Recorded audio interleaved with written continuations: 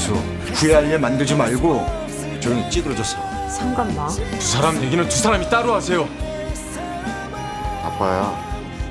사랑아 아빠랑 진주 언니랑 같이 살까?